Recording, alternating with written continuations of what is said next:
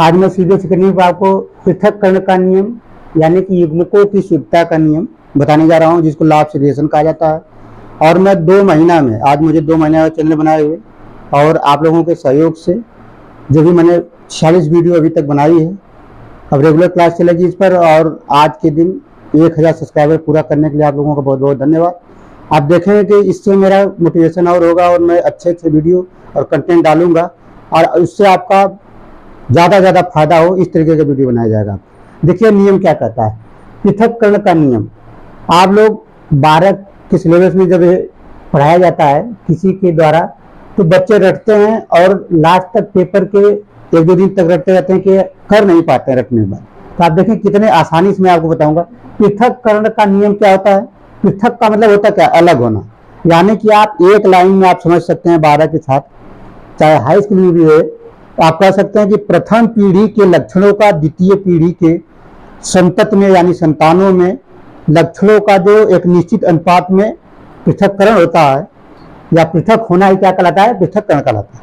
यानी कि प्रथम पीढ़ी के लक्षण, द्वितीय पीढ़ी में एक निश्चित अनुपात में क्या होते हैं? अलग हो जाने की क्रिया ही पृथककरण का नियम कहलाता है। इसको सिस्टमेटिक आपको लिखना। अगर पाँच नंबर क्वेश्चन आता है तो कैसे लिखेंगे? मैं पूरा बता रहा हूँ आपके दिमाग में इतने होने चाहिए पृथककरण में होता क्या तो प्रथम पीढ़ी के लक्षण, द्वितीय पीढ़ी में एक निश्चित अनुमान पे अलग हो जाते हैं।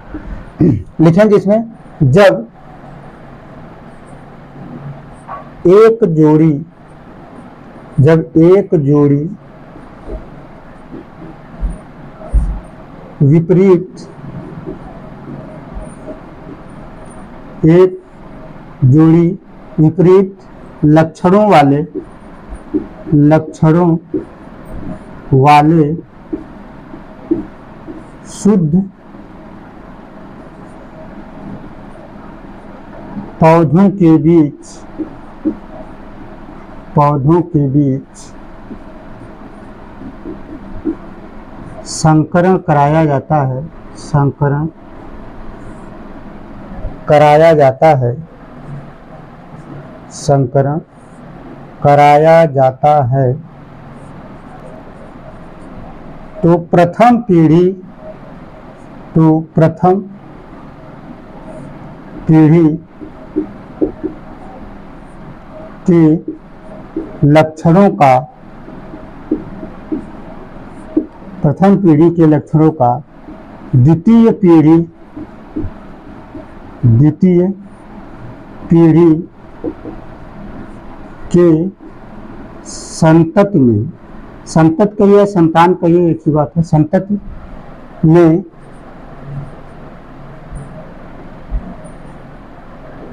इन लक्षणों का, इन लक्षणों का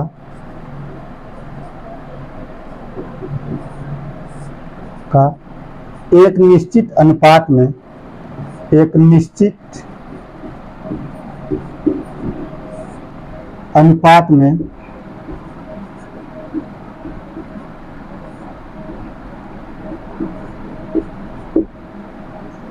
पृथककरण हो जाता है, पृथककरण। करण हो जाता है, जिसे पृथककरण का नियम कहते हैं। पृथककरण का नियम कहते हैं। पृथककरण का नियम कहते हैं। पृथककरण का मतलब पृथक का मतलब है अलग होना, यानी प्रथम पीढ़ी के लक्षण द्वितीय पीढ़ी में अलग हो जाते हैं। नियम पृथककरण का नियम कहते हैं। तथा यह लक्षण प्रथम पीढ़ी में प्रथम पीढ़ी में साथ साथ रहने पर भी, साथ साथ रहने पर भी आपस में मिश्रित नहीं होते। आपस में मिश्रित नहीं होते। नहीं होते हैं। तथा और और युग्मक निर्माण के समय, युग्मक निर्माण के समय के समय यह लक्षण आधे आधे आधे आधे युगक में, युग्मक में चले जाते हैं। चले जाते हैं। इसलिए इसे इसलिए इसे युग्मकों की शुद्धता का नियम, युग्मकों की शुद्धता का नियम शुद्धता का नियम भी कहते हैं। देखिए, पहले इसको समझ लीजिए एक बार। पृथककरण का नियम। जब भी आपसे पूछा जाए तो बच्चों को जल्दी याद नहीं होता। तीन नियम होते हैं प्रभाविता के नियम जो वाले बता चुके हैं हम। पृथककरण का नियम, एक स्वतंत्र अभिवन का नियम। लेकिन स्वतंत्र अभिवन का नियम, अगर देखेंगे तो ये मेंडल का नियम था नहीं। ये एक जनरलाइजेशन था, उसको पढ़ाएँगे इसके बाद। इसमें कहा जाता है पृथक का मतलब क्या होगा? अलग होना पहले समझ लीजिए दिमाग में। इस नियम में कोई चीज़ अलग होगी। वो क्या होगा? जो प्रथम पीढ़ी के लक्षण होते हैं, वो कहाँ से आते हैं? जनक से आते हैं। यानी उनके जो मटर पौधे किया गया था तो मटर के जो विपरीत लक्षण उसको लिया गया है। लेकिन आप समान भाषा में समझ सकते हैं कि पृथक का मतलब अलग होना, यानी कि जो माता पिता के लक्षण होते हैं और जो उनके बच्चे में पर प्रथम पीढ़ी में आते हैं, उनका द्वितीय पीढ़ी में एक निश्चित अनुपात में अलग अलग हो जाना क्या कहलाएगा? पृथककरण तो मटर के पौधे पर आप कर रहे हैं तो जो भी विपरीत लक्षण होता है। और एक जोड़ी ही क्यों यहाँ लिखे ये भी समझने वाली बात है। कोई दो जोड़ी लिख सकता है तो गलत हो जाएगा। क्यों? क्योंकि जो पृथककरण का नियम है, एक संकर संकरण पर आधारित है, यानी मोनो हाइब्रिड क्रॉस पर। अगर आप दो जोड़ी लिख देंगे, एक जोड़ी लिख आप ये लिख सकते हैं कि जब विपरीत लक्षण वाले, तब भी सही मान लिया जा सकता है। लेकिन आप एक जोड़ी लिखेंगे क्योंकि ये नियम मेंडल ने एक संकर संकरण पर आधारित दिया था। नीट जैसे पेपर में दे देगा पृथककरण का नियम किस पर बेस्ड है? कह देगा कि law of segregation is based on monohybrid cross dihybrid cross test cross back cross तो आपको क्वेश्चन लगेगा कि ये कहाँ से आ गया? ये सब एनसीआरटी ट्वेल्थ लेकिन आपको हमारे चैनल पहले से बताते चला कि विशेष बातें ज़रूर बताई जाएँगी जो किसी भी लेवल क्वेश्चन सॉल्व कर सकते हैं। उदाहरण क्या होता है? अब जब यह मोनो हाइब्रिड क्लास पर आधारित है, एक संकर्षण। तो उदाहरण में क्या देंगे आप? मोनो हाइब्रिड वाला ही देंगे।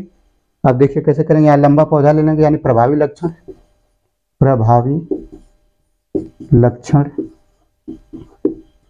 यहाँ क्या होगा? अप्रभावी लक्षण। और आपको एक टेबल बता दूँगा कि कौन से प्रभावी लक्षण होते हैं, कौन सा अप्रभावी लक्षण होते हैं। लेकिन अब सोमवार से मैं रेगुलर सिस्टमेटिक तरीके से पूरी बायो कराने जा रहा हूँ। आप चैनल के साथ बने रहिए। जो प्रभावी लक्षण होता है, उसको हमेशा कैपिटल से लिखते हैं। और ये प्रभावी लक्षण क्या होगा? ये लंबा पौधा होगा। जो लक्षण क्या होगा? लंबा पौधा। ये क्या हो जाएगा? बौना पौधा। हो जाएगा? बौना पौधा।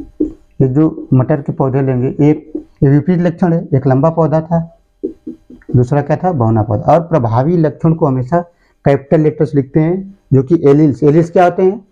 किसी जीन को लेटर्स से, यानी कि किसी जीन को भिन्न भिन्न रूपों में प्रदर्शित करना क्या कहलाता है? एलिल्स या युग्म? विकल्प ये सारी छोटे छोटे परिभाषा आपको जब सिस्टमेटिक कराऊँगा, सोमवार से तो सब लिखवा दूँगा। समझ में भी आ जाएगा यहाँ क्या अप्रभावी लक्षण को हमेशा स्मॉल लेटर से लिखते हैं।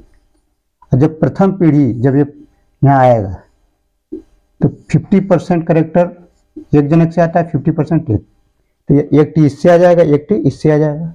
यानी कि ये हो जाएगा हेट्रो जाएगा से आप कह सकते हैं कि प्रथम पीढ़ी के संतान होंगे। प्रथम पीढ़ी के संतान होंगे और सभी कैसे होंगे? लंबे होंगे। सभी लंबे पौधे इसमें दिखाई देंगे। क्योंकि प्रभावी लक्षण ही प्रथम पीढ़ी में दिखाई देते हैं। प्रभाविता नियम में आपको बता चुके हैं कि सभी लंबे पौधे क्यों आए? क्योंकि प्रभाविता के नियम के अनुसार प्रथम पीढ़ी में केवल प्रभावी लक्षण दिखाई देगा। प्रभावी लक्षण कौन सा है? लंबा पौधा, इसके सारे पौधे लंबे हो गए। अब देखिए, इसका स्वपरागण कराते हैं। कैपिटल टी स्मॉल टी स्वपरागण का मतलब कि प्रथम पीढ़ी का संकरण इसी से कराते हैं। यानी आप यहाँ लिख सकते हैं स्वपरागण। स्वपरागण।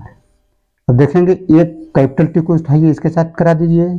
संकरण कैपिटल टी कैपिटल टी फिर इसका कराइए स्मॉल वाले से, यानी कैपिटल टी स्मॉल टी, ये वाला हो गया। अब दूसरे वाले को उठाइए। स्मॉल वाले को इससे करा दीजिए, कैपिटल टी स्मॉल टी और छोटे वाले को उठाइए। यानी कि स्मॉल टी स्मॉल टी ये हो गया आपका द्वितीय पीढ़ी। द्वितीय पीढ़ी। सेकेंड जनरेशन ये क्या कहलाएगी? सेकेंड जनरेशन अब आप देखेंगे यहाँ कि ये क्या हो गया? शुद्ध लंबा, ये संकर लंबा है शुद्ध बौना। यानी शुद्ध लंबा पौधा हुआ है, संकर लंबा हो गया। संकर लंबा, ये भी शंकर लंबा है क्योंकि हेट्रोजाइगस कंडीशन है शंकर लंबा, यानी इसको विषम युग्मजीव कहते हैं। और ये जो हो जाएगा।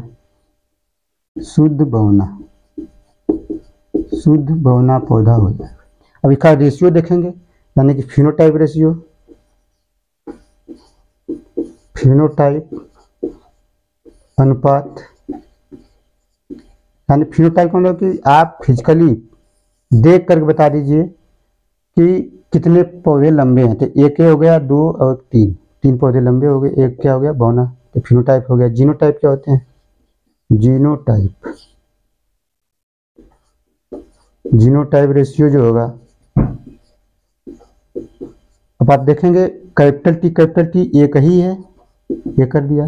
कैपिटल टी स्मॉल टी कितने दो हैं तो दो लिख दिया। एलिस के आधार पर लिखा जाता है, यानी कि जीन को अलग अलग रूपों में जिस प्रकार से लिखा जाता है, उनके अनुपात को लिखा जाता है। एक स्मॉल टी है, ये हो गया आपका जीनोटाइप रेशियो तो ये पृथककरण का नियम है। आपको सबसे पहले क्या जानना है? इसमें विशेष बात कि पृथककरण का नियम जो होता है एक संकर संकल्प पर आधारित है। दूसरा, इसमें करेंगे क्या आप? कहेंगे कि एक जोड़ी विपरीत लक्षण वाले शुद्ध पौधों का के बीच संकरण कराया जाता है तो प्रथम पीढ़ी के लक्षणों का, द्वितीय पीढ़ी के संतति में इन लक्षणों का एक निश्चित अनुपात में पृथककरण हो जाता है, जिसे हम पृथककरण का नियम कहते हैं। अब इसमें जो लिखा है कि युग्मों की शुद्धता का नियम क्यों कहते हैं? तो प्रथम पीढ़ी में आपस में रहते हुए, यानी लंबा पौधा और बौना पौधा दोनों थे प्रथम पीढ़ी में, लेकिन दूसरा वाला लक्षण क्या है? जो प्रभावित लक्षण छिप गया है। छिपने के बाद भी द्वितीय पीढ़ी में देखेंगे, फिर शुद्ध बौना पौधा आ गया। यानी कि ये आपस में मिश्रित नहीं हुए। यही बातें कह रहा है कि जब गैमिट फार्मेशन होता है, युग्मक का निर्माण होता है तो ये लक्षण फिर से आधे आधे। यहाँ पे नहीं दिखाई दे रहा, लेकिन यहाँ पे देखिए, फिर पृथक हो गया। यही चीज़ होता है, पृथककरण का नियम या युगमुखों की शुद्धता का नियम। धन्यवाद, थैंक यू।